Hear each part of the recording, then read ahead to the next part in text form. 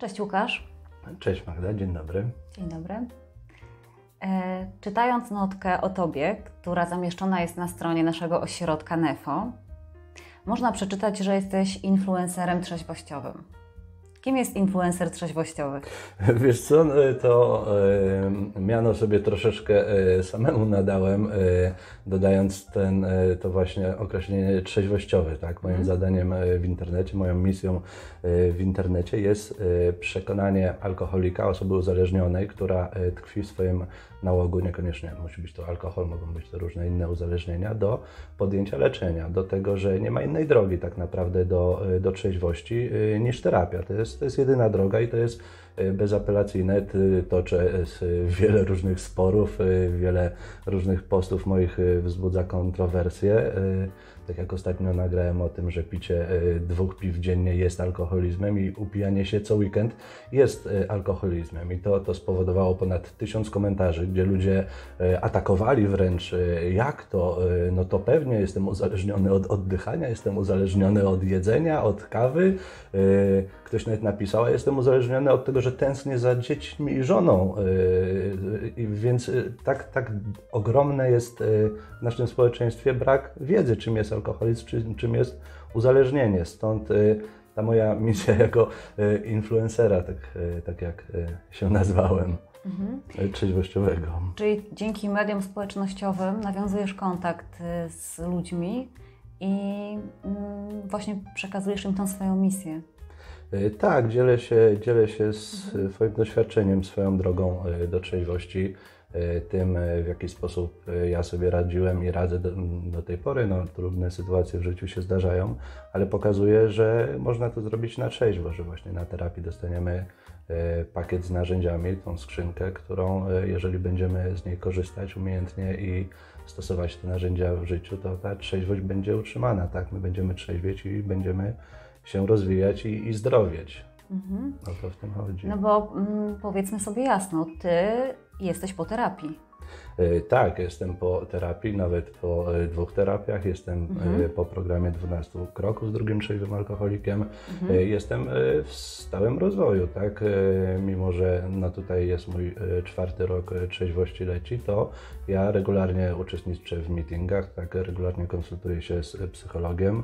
E, I, e, no i też po części jestem, jestem w terapii, więc cały czas e, no, dążę do tego swojego rozwoju i pielęgnuję tę trzeźwość i podkreślam, jak, jak bardzo jest to ważne w leczeniu tej choroby. I to, to robię w tych swoich mediach społecznościowych, na TikToku, na Facebooku, na YouTubie i na Instagramie. Mhm.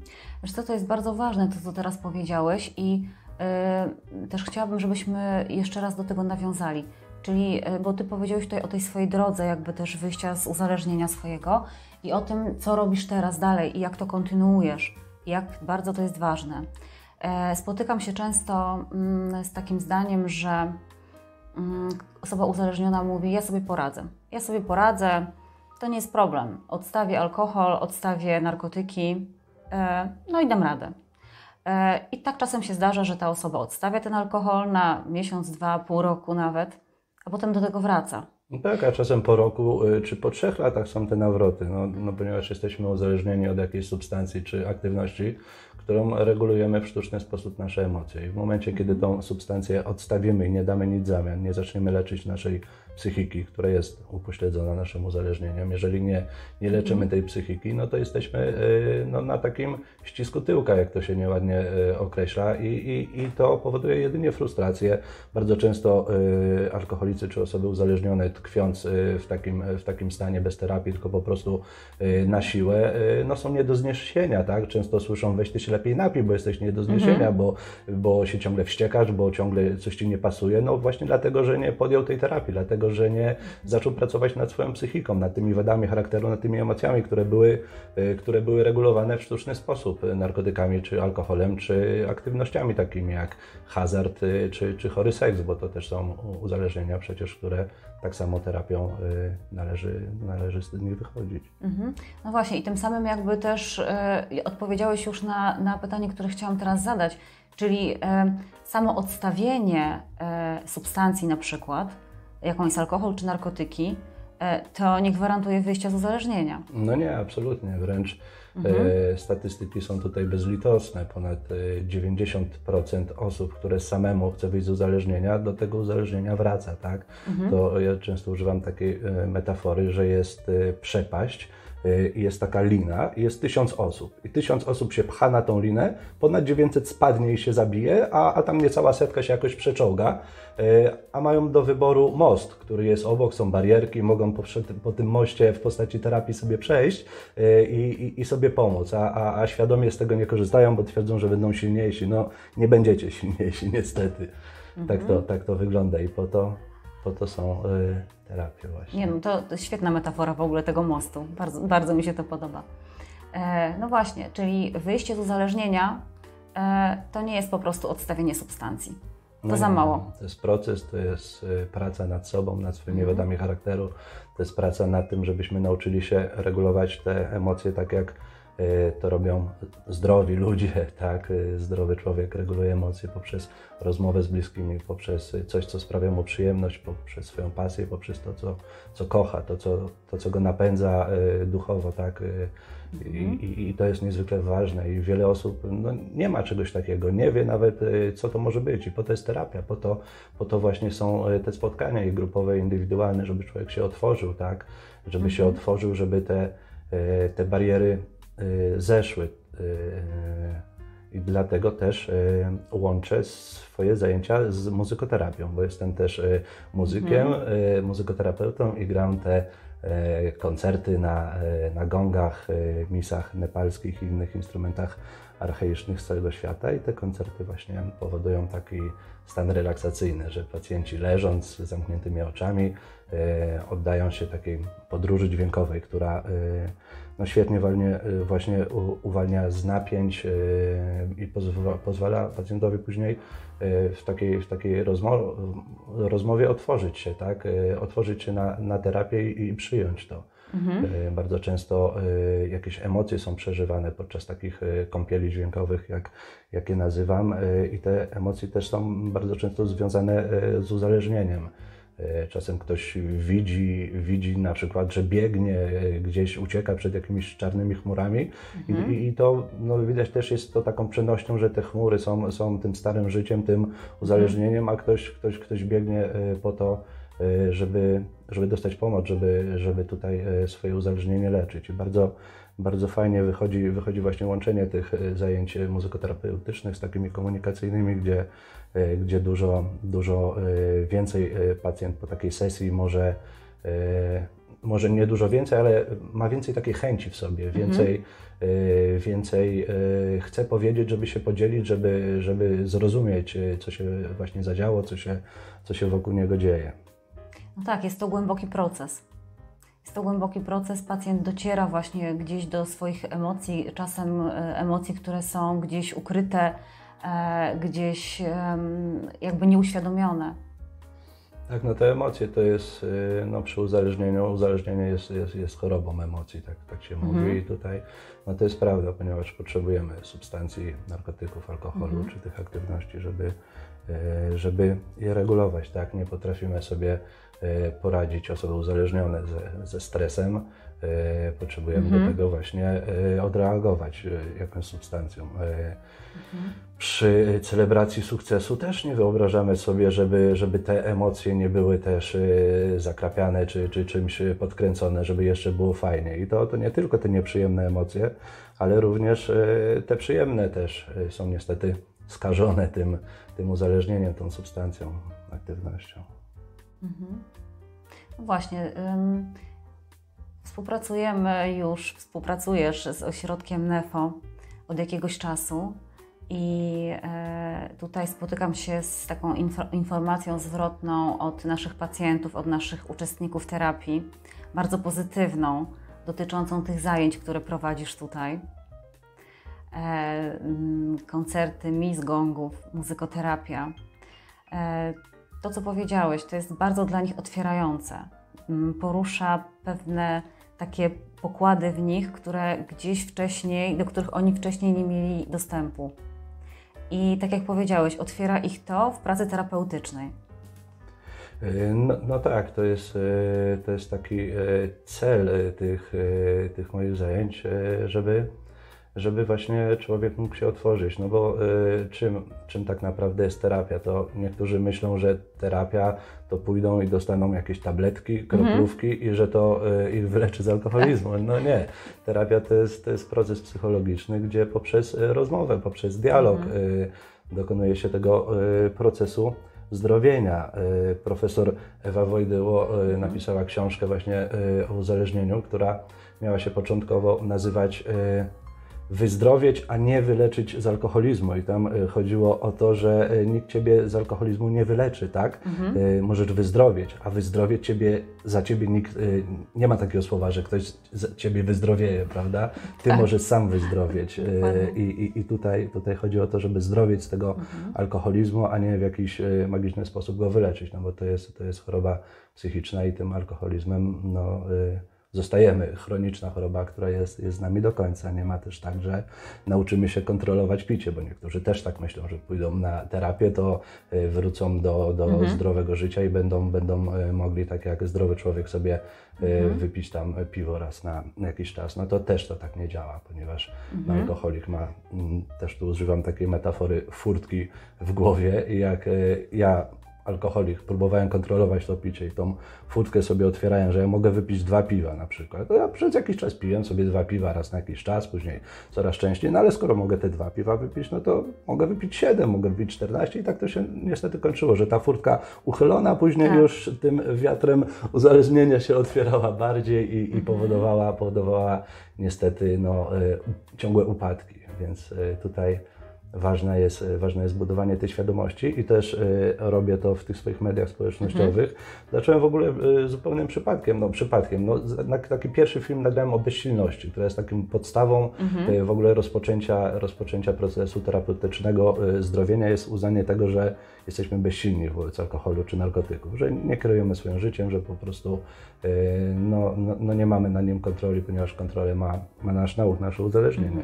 Nagrałem ten pierwszy y, filmik i on no, w ogóle miał bardzo dużo wyświetleń. To mnie zachęciło, że być może jest to potrzebne. Ja to też y, w tych swoich krótkich filmach używam takiego specyficznego języka, jak Właśnie jak o tym chciałam z Tobą porozmawiać. Tak, on też jest atakowany y, hejtem i jakąś krytyką, ponieważ jest to y, no, język taki dosyć y, wulgarny. No, nie oszukujmy się, używam tam wulgaryzmów. To jest takie 60 sekund, y, gdzie chcę przekazać osobę, która jeszcze aktywnie pije, przekonać do tego, że, żeby coś zrobiła e, ze swoim życiem. I taka osoba e, no, przez te 60 sekund nie wysłucha ci jakiejś terapeutycznej gadki, że, że o, o walorach tutaj e, i, i górnolotnych słowach, tylko ona potrzebuje takiego dobitnego słownictwa i takiego, takiego przekazu, przekazu, który też przez niektórych mylony jest z jakąś agresją, czy z czymś takim, że ja się wściekam, że, że ktoś tam pisał komentarze, że widać, że mi brakuje na przykład alkoholu i się, i się, i się tutaj wyżywam. No, no nie, nie tędy droga. Tutaj chodzi o to, żebym właśnie zmotywował w ten sposób. I ta,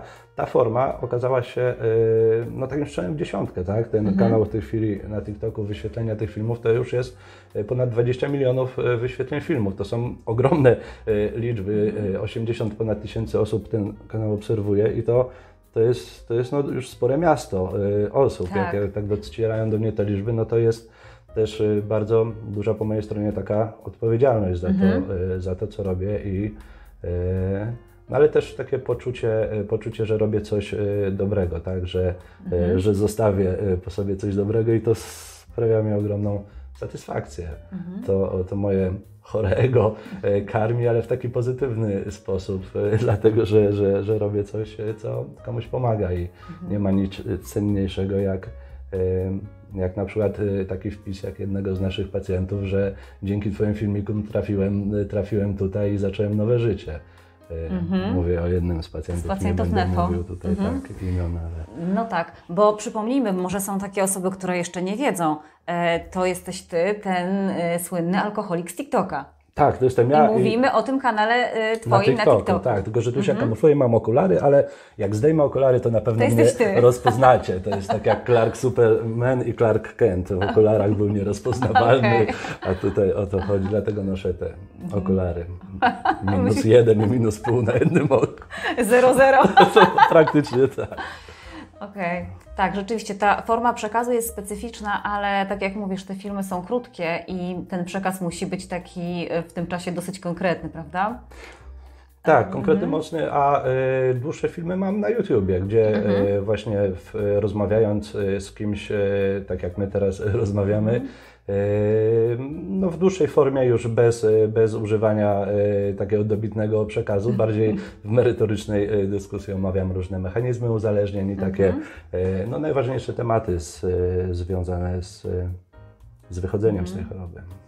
Czyli też jakby to Twoje doświadczenie związane z uzależnieniem, z wychodzeniem z uzależnienia, teraz stało się taką trochę Twoją misją y, w tym, żeby pomagać też innym, żeby zachęcać innych do tej terapii, do wychodzenia z uzależnienia. No i mm, myślę, że właśnie dlatego tutaj dopasowaliśmy się z tą naszą misją, my jako ośrodek NEFO i Ty, Łukasz. E, I ta współpraca nasza rzeczywiście no, fajnie tutaj zaowocowała zajęciami e, Twoimi, które uzupełniają terapię, ale też tutaj rozmawiasz z naszymi pacjentami, z naszymi podopiecznymi, motywujesz ich, dzielisz się swoim doświadczeniem Ym, i e, bardzo fajnie to uzupełnia e, terapię, e, tworząc taką, taką pełnię, taką całość. A powiedz mi jeszcze, wracając do Twoich doświadczeń, bo zacząłeś też mówić o tym, że jakby terapia to nie jest, mm, terapia w ośrodku to nie jest koniec jakby wychodzenia z uzależnienia, bo to też jest istotne, e, jakby co dalej, tak? I czy ludzie uzależnieni, osoby uzależnione, które są na terapii, czy one mają świadomość tego, e, jakby co dalej po wyjściu z ośrodka?